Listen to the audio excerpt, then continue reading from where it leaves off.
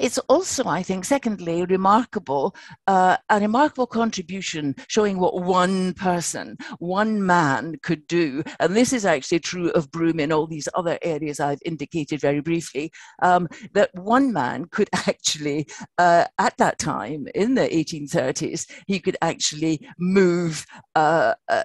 make, a, make a progress happen and move something on uh, visibly in a way that we didn't have to wait another hundred years to find out about.